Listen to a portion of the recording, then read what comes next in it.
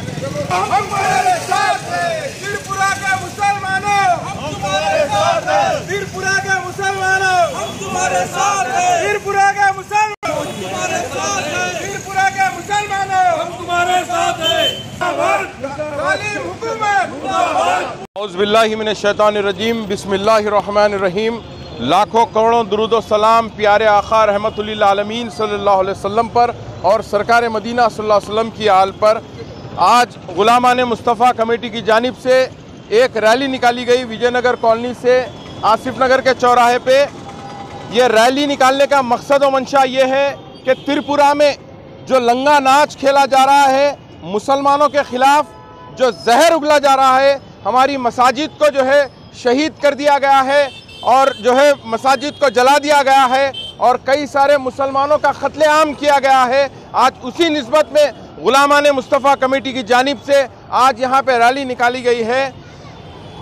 मैं आज ये तमाम मुसलमानों को ये पैगाम देना चाहता हूँ कि अल्लाह के हबीब सल्लल्लाहु अलैहि वसल्लम की शान अकदस में जब गुस्ताखी हो रही है तो आप यकीनन सो रहे हैं। मुझे अफसोस के साथ ये कहना पड़ रहा है कि एक मुसलमान हमारा भाई, त्रिपुरा का भाई जल रहा है और जो है हम तमाम गर्म बिस्तरों पे सो रहे हैं। ये शर्म आनी चाहिए। मैं यकीनन अफसोस के साथ ये बात बोलना चाह रहा हूँ मैं कि हमारा एक भाई कहीं परेशान है तो हमारा इस्लाम ये सिखाता है कि तुम भी कलमा कलमे की हैसियत में उन्हें भी आपका भाई है। वो हैसियत से आप जो है परेशान होना चाहिए। लेकिन अफसोस के साथ जो है हम एहतजाज भी नहीं कर सकते।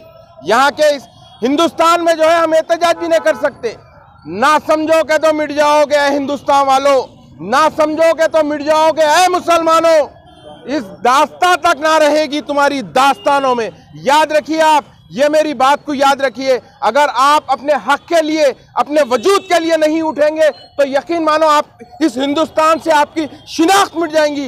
ये मेरा चैलेंज है। और दूसरा मसला, यहाँ की हिंदुस्तान की हुकूमत को शर्म आनी चाहिए। डूब, चुन्नी भर पानू में, पानी में जो है अमित शाह, तुम डूब मरो।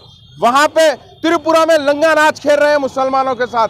हमारी जो है इस हिंदुस्तान में एक हज़ार साल तक जहाँ बानी और हुक्मरानी हमारे बादशाह करे। यहाँ पे तख्त भी हमारे थे और ताज भी हमारे थे, लेकिन कभी हम जो है फिरका परस्ती की बात नहीं की। जब कभी भी बादशाह हमारे मुसलमान होते थे तो उनके साथ वज़ीर कोई नॉन माइनॉरिटी हिंदू होता था है। ये जो है हमारा हिंदुस्तान की जो है गंगा जमनी तहजीब है। ये हिंदुस्तान का एक गुलदस्ता है। अब यहाँ पे त्रिपुरा में लंगा नाच खेल रही। आप आखिर करना क्या चाह रही है? हिंदुस्तान की हुकूमत समझ में नहीं आ रहा। मेरा गुलामा ने मुस्तफ़ा कमेटी से मुतालबा है।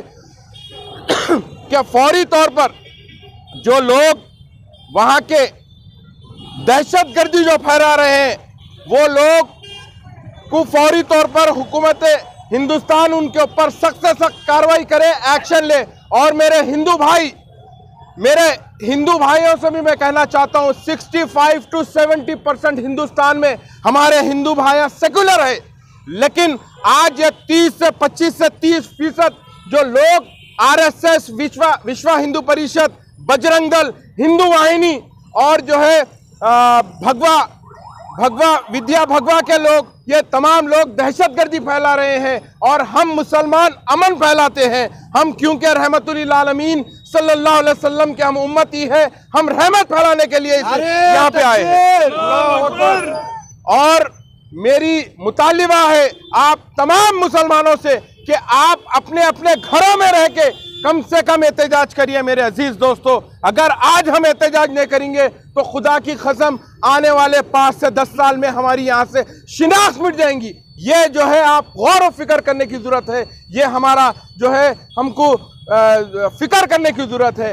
मैं आप तमाम से ये गुजारिश करता हूँ कि और गोदी मीडिया, ये जो गोदी मीडिया जो मोदी के गोद में बैठे हुई है, ये ये इन लोग के जो है इन लोग के सीनों पे सांपे लौट गए हैं। अगर त्रिपुरा में त्रिपुरा में अगर मुसलमानों को जो है बरबरियत और लंगा नाच उनके साथ खेल रहे हैं तो यह गोदी मीडिया नहीं बताती है। और एक, हमारा एक क्रिकेटर मोहम्मद शामी अगर कुछ गलती करता है तो उसको जो है उसके उसके साथ वबाल मचा देते हैं। यह गोदी मीडिया है और गोदी मीडिया से भी हमको इंसाफ की कोई उम्मीद नहीं है।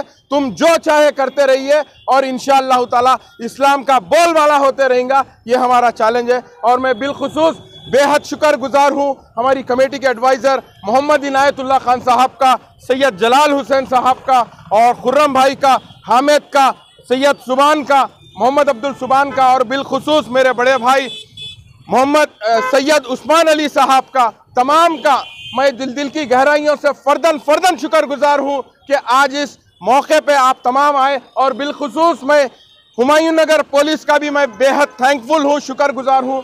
उन्होंने जो है हमको ये मौका फराम किया। बहुत शुक्रिया